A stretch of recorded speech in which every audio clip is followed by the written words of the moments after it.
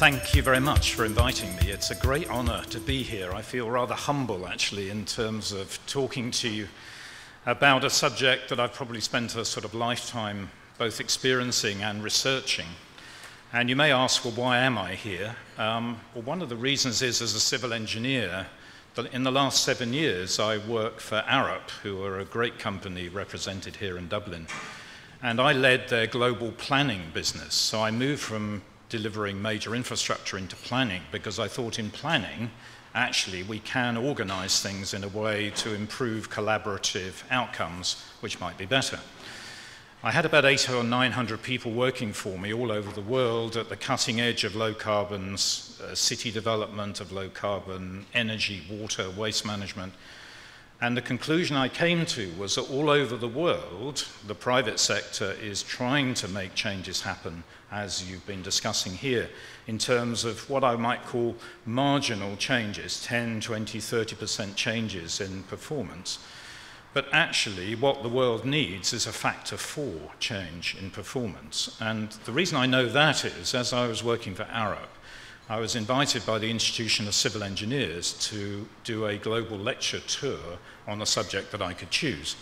And I chose to analyze with a researcher how 9 billion people could live sustainably on the planet in 2050 and what investments and policies would be required to get there. So I then did that analysis, concluded that transformational change was needed from the essential economic model the world is using, which is digging up resources, processing them through infrastructure and, and human activity, and then basically throwing away the waste that arises and polluting the planet. And that, of course, includes CO2 emissions polluting the air. And we've got to change that model into one where we manage resources in closed loops and we use less resources and we dig up less and we close loops and operate much more efficiently, which is rather good because actually you spend less money on stuff and you end up with higher value services. So, how on earth do we make that transformation happen? And so, everywhere I went, I saw that people could see this vision. And indeed, the, they could see the vision of how to finance it, because pension funds, sovereign wealth funds, multinational banks around the world have got money they want to put into projects rather than to put into real estate and shares, which are currently so volatile that it's a big problem. But they can't find the projects. They can't find the projects at scale which will deliver a return.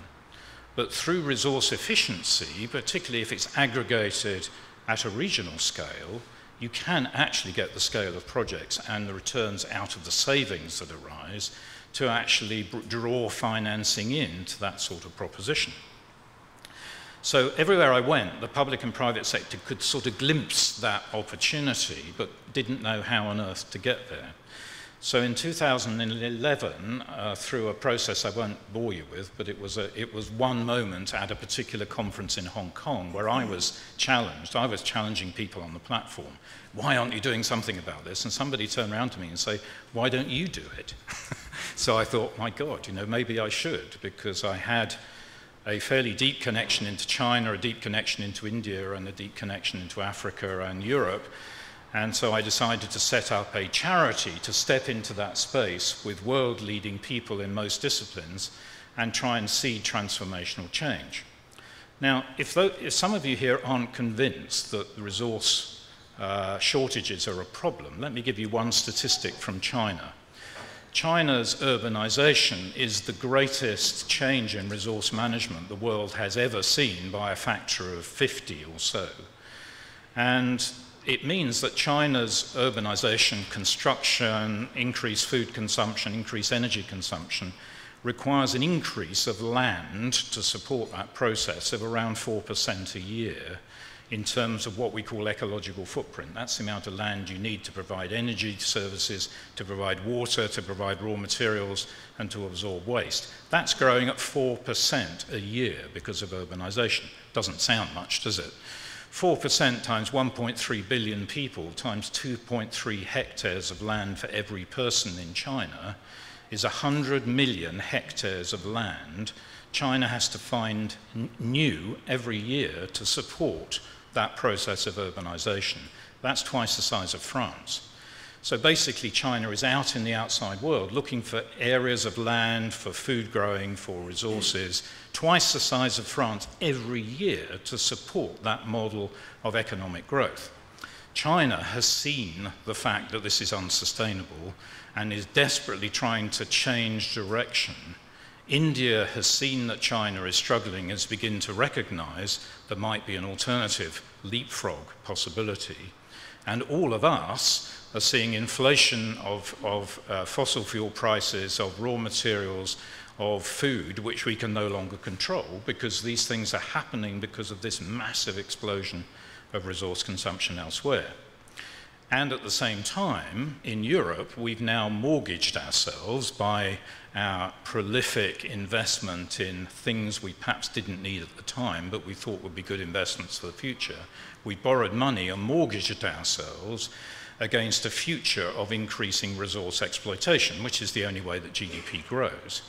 And of course, Europe doesn't have the resources to be able to recover that debt.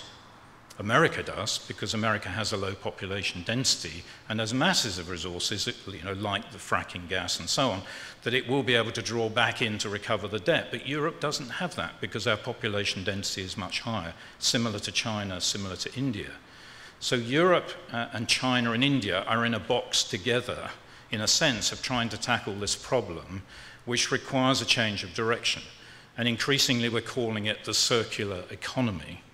This is essentially an economy where we actually use and reuse materials, we design products so they can be recycled and reused.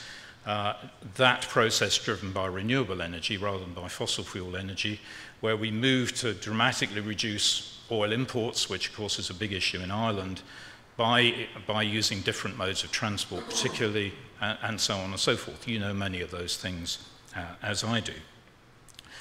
There is a wonderful report on this that was produced by McKinsey in January this year, if you want to look it up, on the Ellen MacArthur Foundation website that I'm an advisory member of. There's a very, very good report there on the circular economy which describes the opportunity for business in Europe to actually follow this route.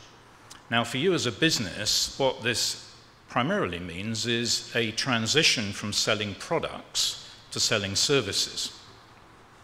That is actually a very profound opportunity because products are obviously their price is very much affected by raw material prices, and therefore your tight margins of selling those products in the market are, are, affected all the time by, by the volatility of resource prices. But if you get involved in selling the service that those products provide to people, then your margins can be higher and more stable.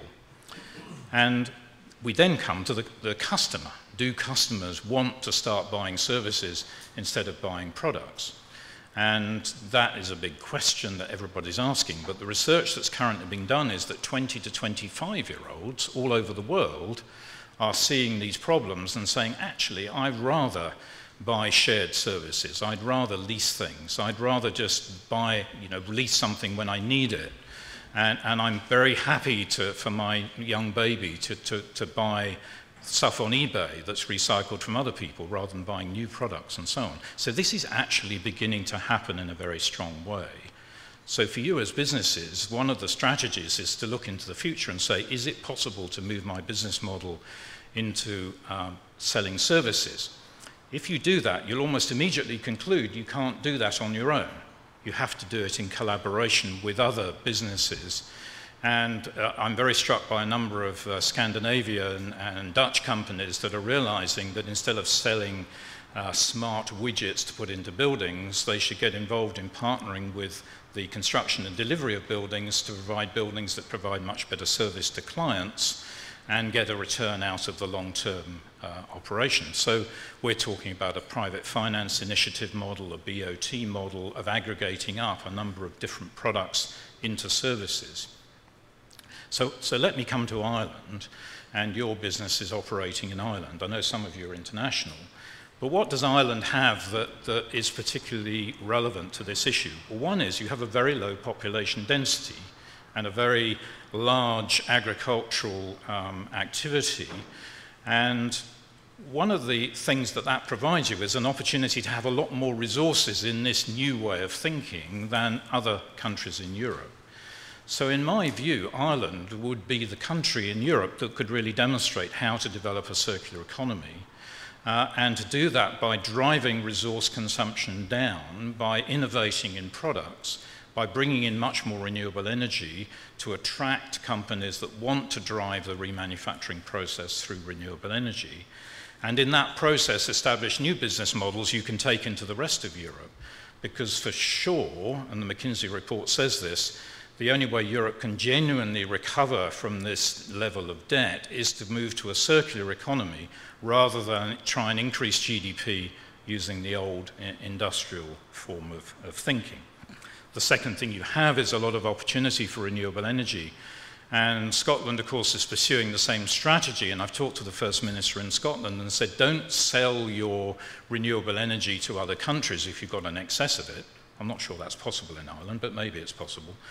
Keep it in, in Ireland and attract new manufacturing businesses to use that renewable energy, a bit like Iceland is doing with data centers and so on. Um, the other opportunity I think there is is to establish through social enterprises a new way of collaborative working between government, business, and communities.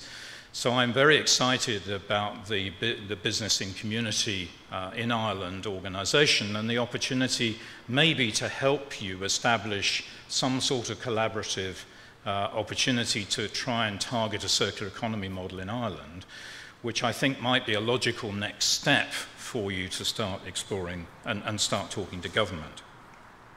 What I have done is actually said that metrics are key to it. So I agree with everything that Tina and others have said, that in the end, metrics are important. And the final point I want to make is that this is a unique moment in human history.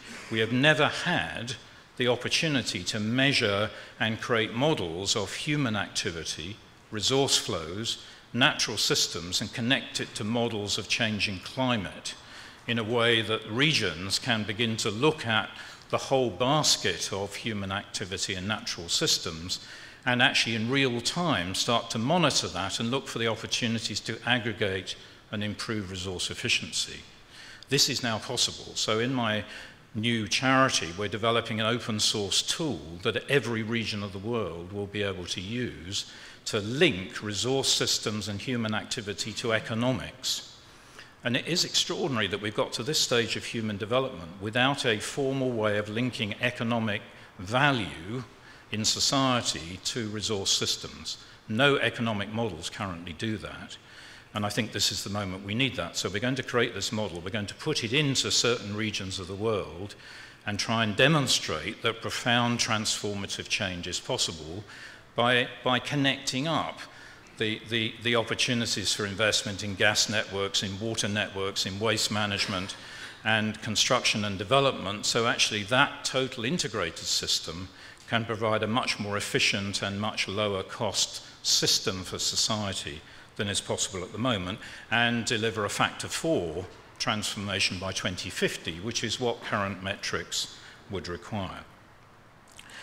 I think the access to capital to drive this is there.